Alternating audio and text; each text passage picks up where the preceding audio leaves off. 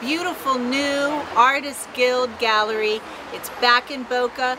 It's close to the museum. It's filled with fabulous artists. And a lot of these artists take classes at our art school on Palmetto. So here's the message.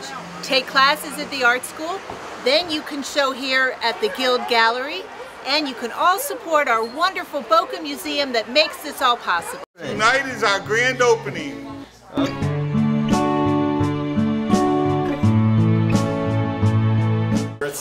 That the Artists Guild has found this new space uh, on North Federal Highway, just uh, what, two miles north of the museum. It sort of brings it very close to the museum family. And that, of course, is how the museum began. It began with local artists who came together, creating a guild, creating a museum, to think of it as the Artists Guild, the art school and museum forming this wonderful triangle uh, that becomes sort of the heart of Boca Raton. If you're an artist, I hope you'll think about becoming part of the Artist Guild here in Boca Raton so you can be a great, great part of this scene that we have created.